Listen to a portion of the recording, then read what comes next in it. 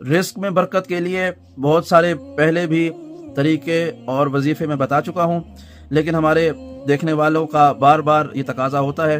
तो एक और वजीफा, एक और अमल जो कुरानी वजीफा है। सूरह मुजम्मिल की एक आयत है, बिस्मिल्लाहिर्रहमानिर्रहीम, इन्ना लका फिन नहारे सबहन तवीला।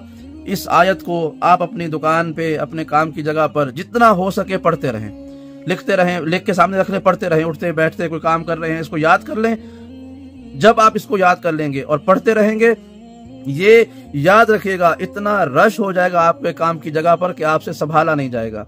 सुरह मुजम्मिल की ये आयत को याद कर लीजिए कि इन्ना लका फिन नहारे सबहन तवीला। इस आयत को अपना विरद जबान बनाए, उठते, बैठते, चलते, फिरते दुकान पर, कारोबार पर और आप इसके मोजाती करिश्मात देखते रहें।